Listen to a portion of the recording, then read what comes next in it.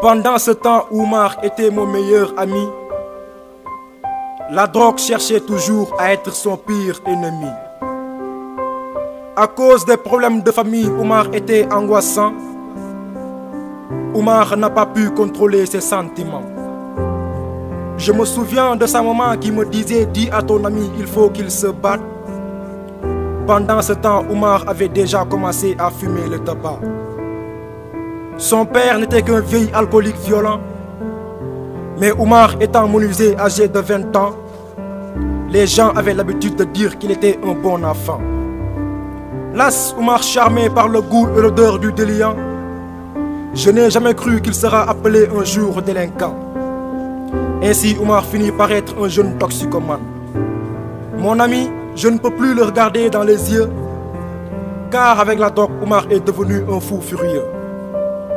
Je me souviens qu'Oumar n'avait jamais eu de passion. Il n'a jamais achevé de prendre conscience de ce qu'est l'intoxication. Tout devient compliqué.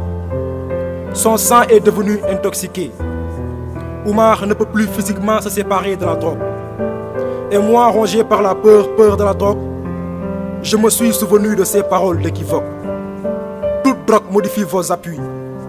L'appui que vous preniez sur vos sens l'appui que vos sens prenaient sur le monde, l'appui que vous preniez sur votre impression générale d'être. Oh, si vous saviez à quel point la drogue est dangereuse, c'est fliqué à mort, personne n'oserait chercher à se doper. Oumar, amitié et comme frère qui nous a liés, j'ai commencé ainsi à avoir pitié.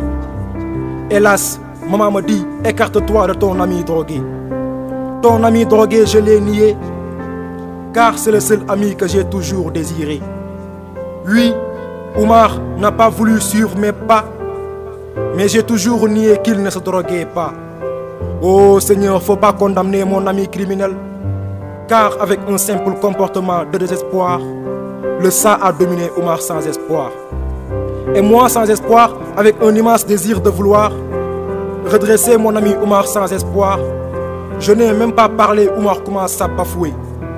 C'est fini, Oumar n'est plus sur terre mais dans les nuées. Quelque chose que je n'ai jamais voulu, mon ami considéré comme perdu. Quelque chose que je n'ai jamais voulu, la drogue a développé dans l'esprit d'Oumar une folie tapageuse. Sa maman de plus en plus malheureuse, en me disant qu'Oumar se comporte de plus en plus bizarre. À présent, il me montre le visage d'un bâtard. Si vous saviez à quel point j'avais peur de dire la vérité, car je me sentais être lié par la complicité. Confiance qu'il finira par être un jour encore normal, j'espérais. Mais en voyant Oumar devenu voleur et agresseur, j'ai désespéré. Las, un jour, avec la tête de honte, j'ai eu le courage de dire la vérité. Triste, sa mère se met encore en pleurer. En disant, pourquoi le malheur ne frappe que chez elle? Oh Seigneur, j'ai toujours prié. Pourquoi m'êtes-vous infidèle? À cet instant, ma bouche restait close. J'avais tort et j'ai senti la mort. Sa maman malheureuse, terrifiée, épuisée, me dit allons cherchons Oumar car il est complètement brisé. C'était trop tard, Oumar était déjà hypnotisé et ne pouvait plus contrôler son corps. C'était trop tard, Oumar a fini par se suicider et son père avait tort avec le cœur brisé. C'est ainsi que mon ami Oumar est mort et la drogue continue à chercher des jeunes pour leur condamner à mort. Mais je saurai un jour comment me venger pour que tout enfant de la patrie soit heureuse et plus en plus âgé. Je me transformerai comme étant le pire ennemi du danger et reposer sur terre après que la drogue soit juste terrassée. Abdel Toufik, salam alaikum.